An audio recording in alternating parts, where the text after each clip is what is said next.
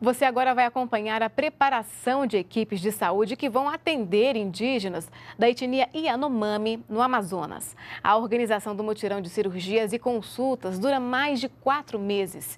O repórter João Pedro Neto acompanhou uma etapa dessa expedição, onde os agentes de saúde começam a identificar os índios que precisam de atendimento.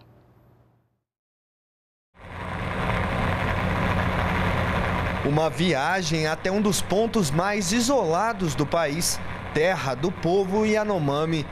Chegar em Maturacá não é fácil, são quase 700 quilômetros.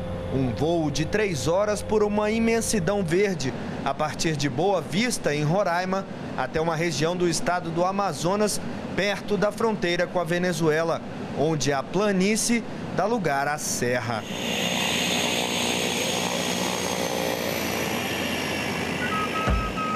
Essa é uma parte da terra indígena Yanomami no extremo norte do país, onde vivem milhares de indígenas espalhados por aldeias ao longo de pequenos rios da bacia amazônica.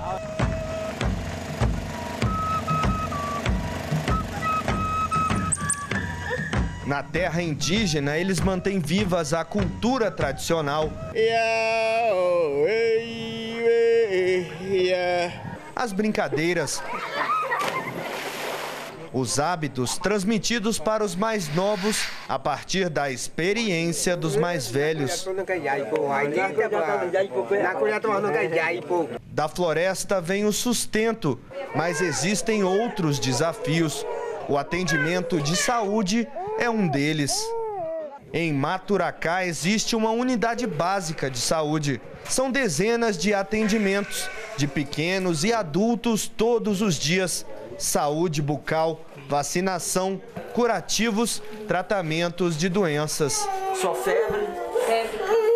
Tá Tudo em parceria com a medicina tradicional dos povos indígenas.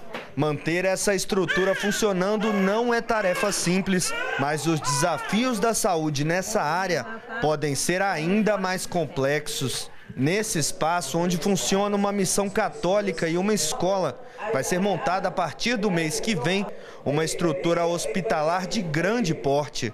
São toneladas de equipamentos de última geração para um mutirão de cirurgias e consultas com os Yanomami. Vai virar um, grande hospital aqui, né? Centro de movimentos, é, de vão vir gente distantes, né, de muitas comunidades esperançosas, porque é, chegar na, nos centros urbanos é, é, sempre muito difícil. Durante uma semana, indígenas de várias aldeias da região, distante horas ou até dias de barco, vão ser atendidos. A expectativa é fazer pelo menos 1.500 atendimentos e 200 cirurgias. Essa organização de especialistas voluntários é responsável pelas expedições de saúde e essa é uma das etapas da preparação. Há 15 dias atrás nós viemos fazer a, a viagem exploratória, é saber as instalações que tem, é, ver se é possível, conversar com liderança, ver se interessa para eles, explicar um pouco o trabalho dos expedicionários foi há 15 dias atrás. Voltamos agora para fazer a, a viagem precursora. Nas cirurgias, o foco são os casos de hérnias e cataratas.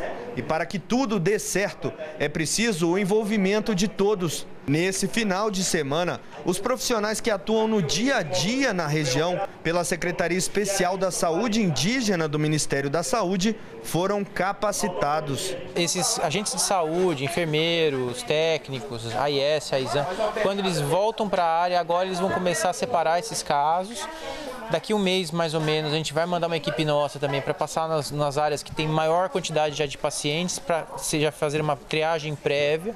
E esses pacientes, então, triados, vão ser levados para cá, de novo, na Maturacá, na, na, na época da expedição. Os indígenas também dão a sua contribuição uma das contrapartidas das comunidades indígenas que vão ser atendidas na ação é a reforma e a construção de alojamentos para os pacientes no período pré e pós-operatório e também para os parentes Meses antes da expedição de saúde, essas estruturas já começaram a ser erguidas com uso de material aqui da região e características próprias da cultura Yanomami.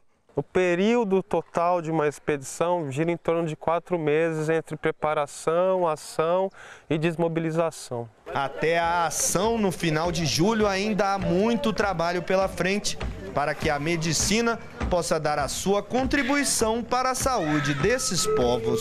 A medicina do branco reforçou muito, muito bem, porque hoje em dia a gente vê as crianças sadias e não tem mortalidade já diminuiu bastante e a população começou a aumentar.